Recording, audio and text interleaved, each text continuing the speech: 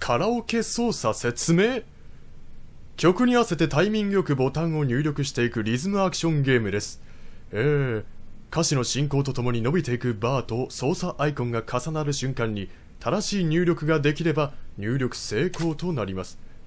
入力タイミングが大きくずれてしまった場合や操作アイコンと違う入力をしてしまった場合は入力失敗となります。入力を成功する旅ほど高得点を得ることができます。うん。愛の手？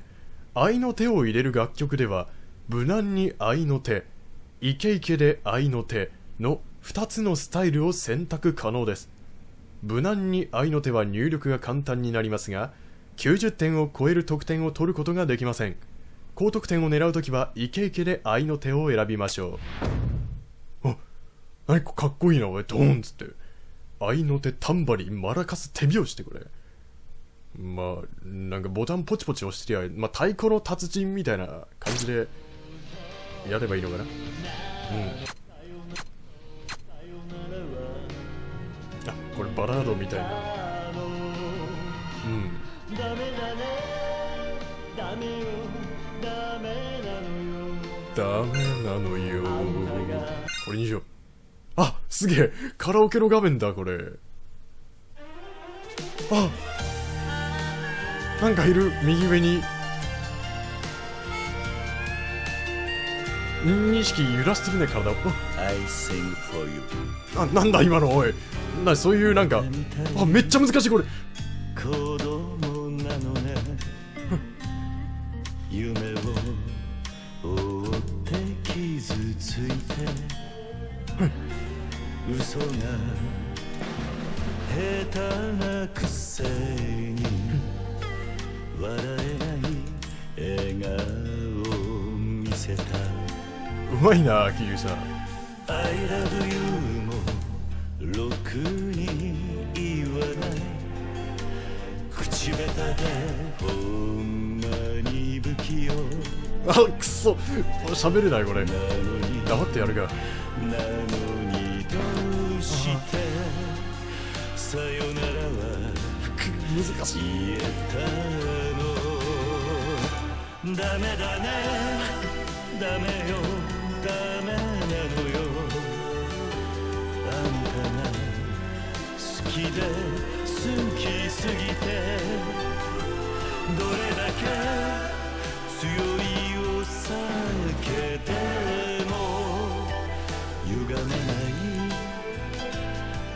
思い出がバカみたい。まだ？終わった。まさかの？まさかの？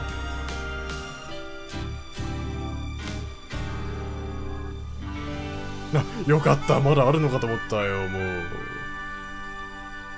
終わりましたみたいな空気感出せよ桐生まだ2番いきますぜみたいな顔されてもらう。58点めっちゃうまかったけどね歌はね。音痴めちゃめちゃうまかったと思うけどね。ごめんなキリさんなんか。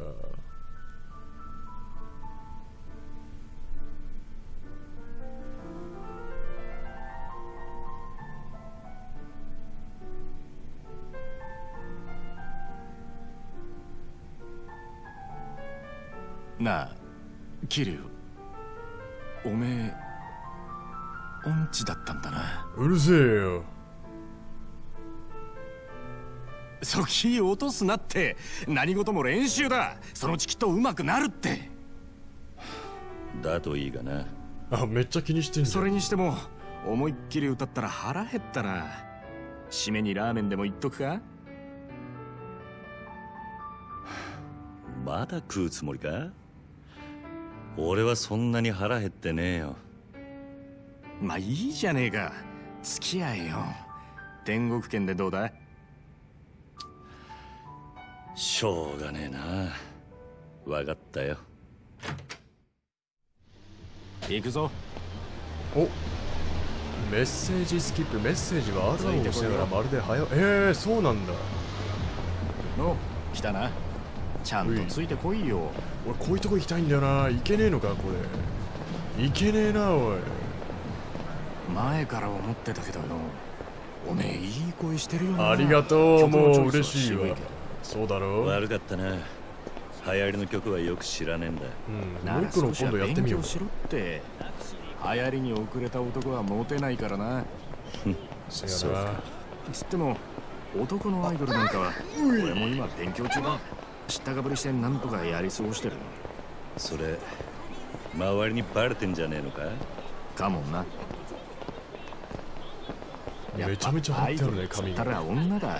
最近は。マジで可愛い子が多いぞ。あの手のあれか。そうなんだ。ああ。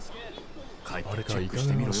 案外ハマって俺より詳しくなるかもな。あなんだ今のおやつ。そのうち俺ら二人8匹でコンサート行ってたりしてお互い想像したくねえ姿だ。あ天国建国だ。な着いたぜ。ここだ。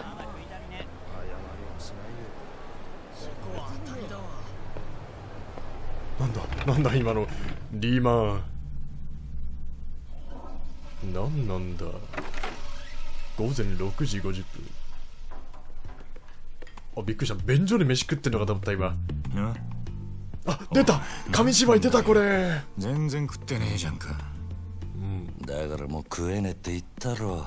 テレパシーやめろ俺なんか頼みやがって。情けねえこと言うなよ。それでも男が。昨夜11時頃カムロ町の一角で発見された若い男性の変死体は激しい暴行を受けており警視庁では殺人事件とみて付近を捜査中です。ただいま続報が入りました。おお若い男性の身元が判明したとのことです。穏やかじゃねえ死体でな発見された男性は都内在住のあ栗原太一さん32歳。警視庁の調べでは栗原さんは金融業者3社から借金を抱えていたとみられ知らないな。今後関係者から事情を聞く方針です。恐ろしい世の中やで。桐生。ん？カムロ町で殺したと。よくある話だろうがいや。お前昨べの取り立て相手のこと結構痛めつけたって言ってたよな。こちらが栗原さんの死体が発見された現場です。ここって。目が。俺が取り立てした場所だ。おいおい。お前マジか。いや死ぬまで殴ったわけじゃねえはずだこの場所はカムロ町で人がごった返すネオン街からわずかに裏道を入った先にあります。ビルとビルに囲まれて人目につきにくいかなりいびつな空間という印象を受けますが栗原さんの死体はこのわずかに残る更地に倒れていたとのことです。こいつ。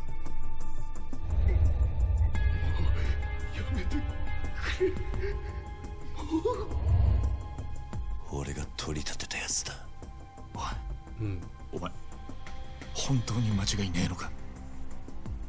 は何やってんだよ。取り立てで相手殺しちまうなんてよ。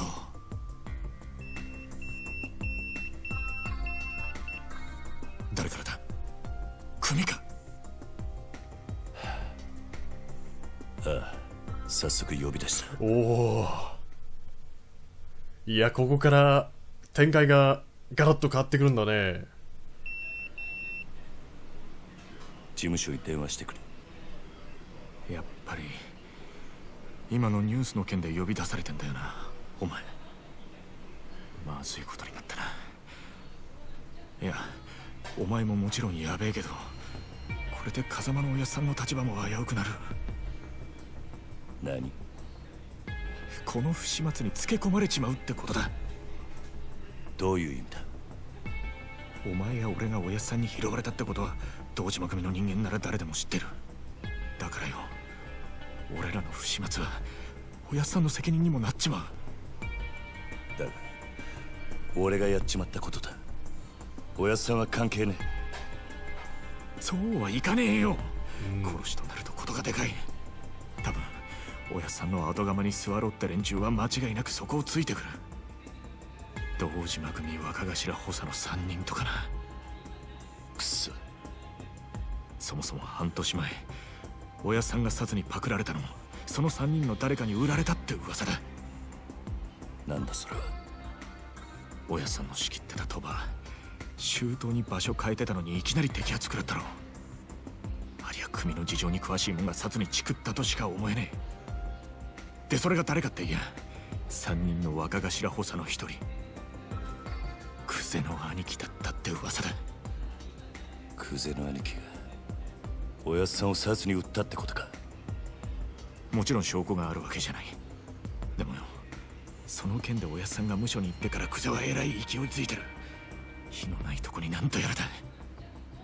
何にしろ今は組に連絡するしかねえ。だろそうか。そうだな。分かった。俺はとりあえず知恵貸してくれる人を探してみる。すまね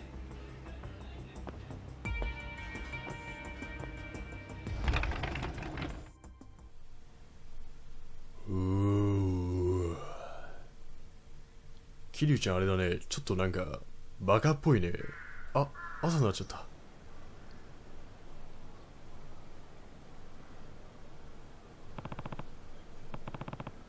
堂島組の事務所に連絡をつけよう。近くに公衆電話がある。公衆電話を探せ。このなんか白真のなんかタイトルやめてほしいな。はあってなるからこれ。はあって。遠くまで行ってる暇はない。なんだなんだ。ポケベルはポーズメニューで確認ポーズメニューってどこだっけ？これか？これじゃないか。こうか。メッセージ。至急 X5164 じゃあ6417至急クソゴいろしいクソ殺し。違うな。よくわかんねえな。とりあえずまあ電話しよう。うん。調べる。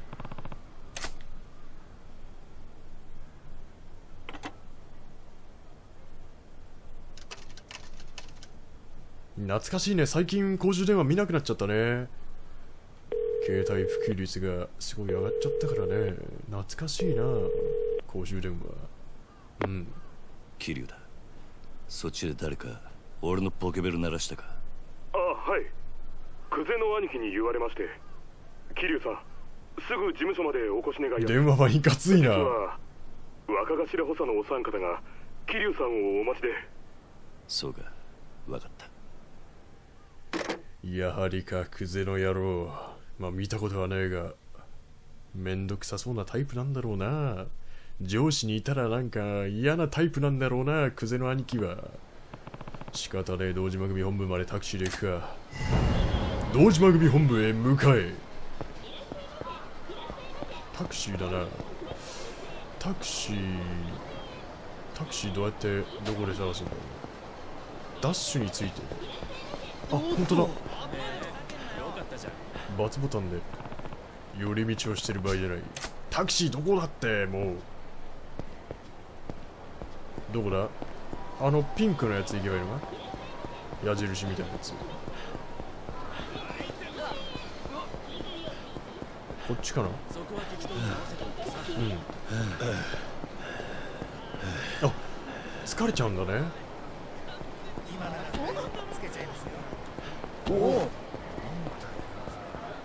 どけどけどけやしゅうなんで今チュイー。ンってもうちょっとだなお大通りに来たねあったタクシーどけどけえいタクシー470円安い。堂島組本部まで。本部までって言って分かるのかこういうのは。こいつのタクシーのうんちゃんは堂島組本部まで。本部まで行ってくれ。かしこまりました。かしこまっちゃったこれ。本当に行けんの？大丈夫系タクシー？これ。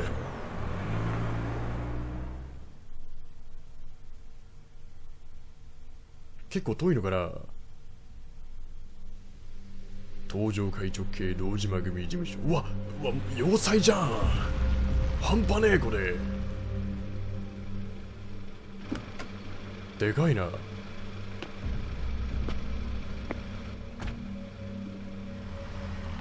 どっから入るんだ？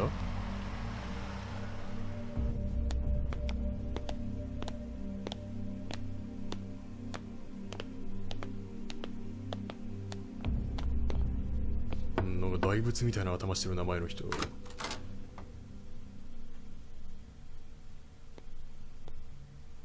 なんかあ知ってる。知ってる。知ってる。みんな知ってる。若頭言うから若い衆みたいなこと言うからもっと。おうおおずいぶん待たしてくれるじゃねえか。あ怖い。怖い。長くなったもんだな。おうキリ。すいませんでした。くせこいつがクセか。めちゃめちゃ怖え申し訳ありません。クゼの兄貴。くあクゼか。申し訳ない。こんな昼間っから東島組の幹部がガン首揃えてお前を呼び出した理由わかるよな？はいもちろんでございます。渋沢刑事。カムロ町で見つかった死体の件。ですが。やっぱりてめえか。こりゃゴルどころじゃなくなっちまったなななんて？あクゼの兄貴。アーバの大輝お前に取り立てを頼んだ金貸しから組に連絡があってな。金貸し？東郷クレジットの社長だ。あああいつか。あの社長に頼まれて仇ぶっ殺したのはおめえだろ。ストレートだな。もっともあいつは自分のせいじゃねえって早速逃げ打ってやがったがな。たかが30万程度の小銭の取り立てで本性が下手打つとも思っていなかっただろうからな。はあちんけな金貸しとはいえ同情するぜ。まあそんなことはどうでもいい。理由がどうあれ仇をやっちまったっつうことはどう幕を引くか。だがちょっと待ってください。俺は。ジタバタすんじゃねえ！安心しろ。仇ったって相手も借金まみれのクズだ臭い飯78年食えばことは収まる。長えよ。俺に掴まれた。そんなチワワみたいなああ顔して殺しの方はそれでお上と手打ちするとして。それより問題はあの場所からどう人目をそらすかだ。が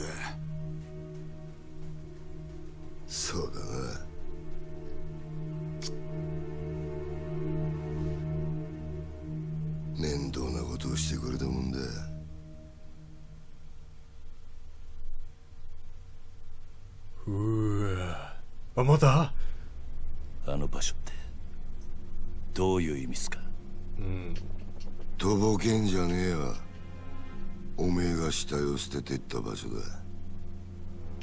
おいゲリ。ュおめえよりによってなんであの場所でやったんだ。え？まさか風間の頭の指示ってわけじゃねえよな。おやっさんの指示って？無言の圧力。なんでおやっさんの名前が出てくるんすか？聞かれたことだけに答え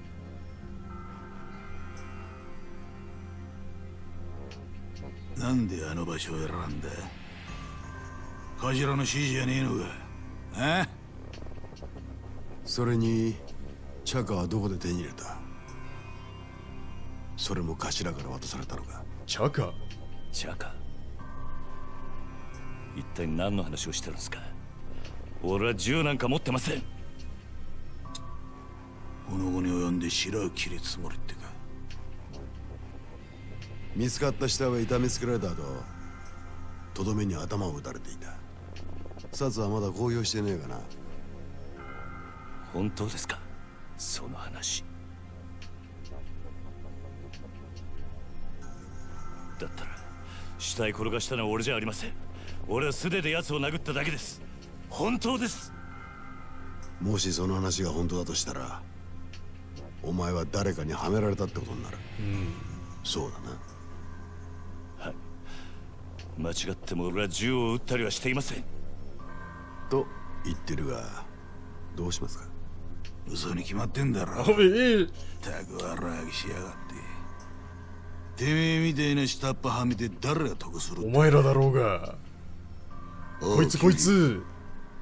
もう一度聞くぞ。こいつだろはめたのなんでわざわざあの場所で騒ぎを起こしたんだ？金貸しからの指示だあの場所に相手を呼び出すから。少し痛い目に合わせてから金を取り立ててくれって。今言ったこと間違いねえな。ええ。どうやら金貸しから話聞く必要がありそうだな。とはいえうちの組があの殺しに関係していたっつうのは事実だ。しかも場所が場所だ。このままじゃあっちの仕事に支障が出ちまう。なんだろうね。どうするよ。クゼナ兄貴答えは一つだ。